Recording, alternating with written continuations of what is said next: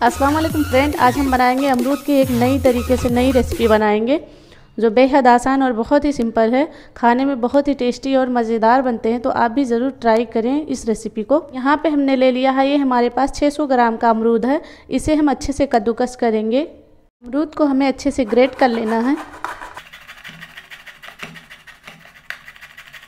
हमने यहाँ पे जो अमरूद लिया है, इसमें बीज नहीं है, बहुत ही कम बीज हैं तो बीज को हम बाहर निकाल देंगे। ये देखिए, यहाँ पे हमारे अमरूद में बहुत ही कम बीज हैं। बीज को हमें नहीं डालना है, सिर्फ़ अमरूद के गूदे से ही बनाना है हमें हलवा। यहाँ पे हमने इसे अच्छे से ग्रेट कर लिया है। अगर आप छोटे वाले अमरूद से बना रहे हैं, जिनमें बीज ज़्यादा होती है तो आप काट के कुकर में रख दीजिए, एक सीटी लग जाए।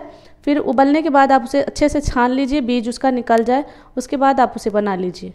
यहाँ पे हमने एक चुकंदर ले लिया है, इसे भी हम कद्दूकस कर लेंगे, ग्रेट कर लेंगे अच्छे से, ताकि इसमें कलर अच्छा बहुत ही बेहतरीन फ्लेवर आए। चुकंदर को भी हमें अच्छे से ग्रेट कर लेना है इसमें।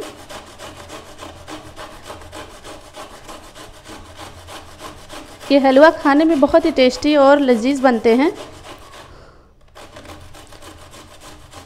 चुकंदर का जो फ्लेवर है, इसका बहुत ही अच्छा फ्लेवर आता है और खाने में बहुत ही अच्छे और टेस्ट हमने चुकंदर को भी अच्छे से ग्रेट कर लिया है। यहाँ पे हम फ्राई पैन में डालेंगे घी। हाफ़ कप घी ऐड कर देंगे हम। घी हमारा गर्म हो चुका है। हम इसमें डाल देंगे चार इलायची। ऐड करेंगे ग्रेट किया हुआ अमरूद और चुकंदर।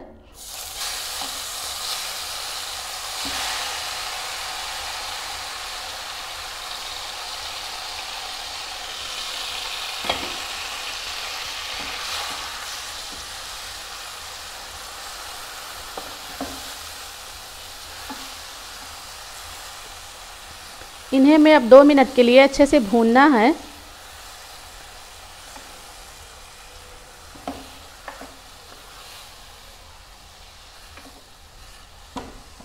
दो मिनट भूनने के बाद ये अच्छे से सॉफ्ट हो गया है। अब हम इसमें हाफ़ कप दूध ऐड कर देंगे।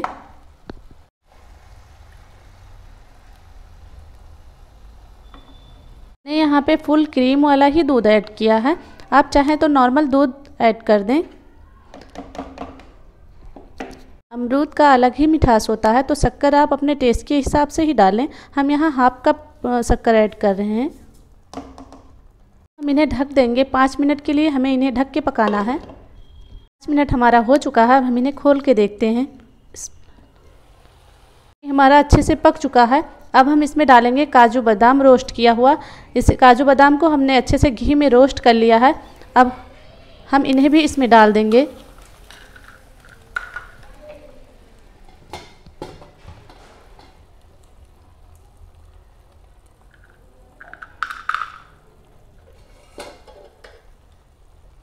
हमने 200 ग्राम खोया ले लिया है, जिसे हमने अच्छे से घी में रोस्ट कर लिया है।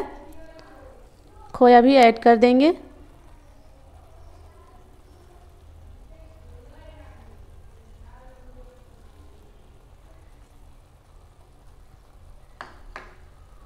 हम अच्छे से मिक्स करेंगे।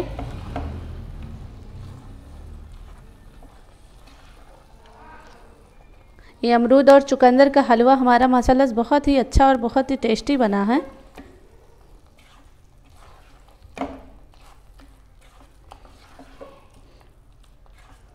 अब हम इन्हें फुल फ्लेम पे दो मिनट तक और भूनेंगे।